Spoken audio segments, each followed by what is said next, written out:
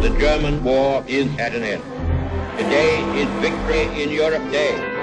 It is such a special day, and for six years now we've been positively cloistered. Lilibet and I could go out into the crowd. We can't do that. One day, Elizabeth, you shall be queen. Let them go. This might be the only chance you get. We're going out incognito.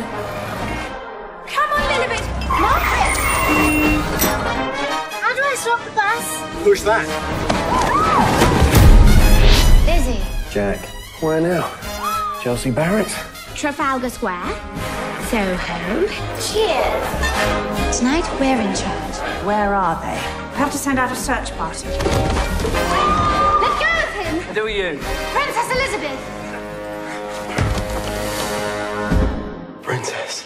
You lied to me all night long. Tonight nobody gave a damn who I was. If it wasn't for you, I never would have had the opportunity to be just ordinary. On the most extraordinary night of my life. Lilibet will bring them through. I hope so. I thought princesses had everything they could possibly want. What if the real me wants something else?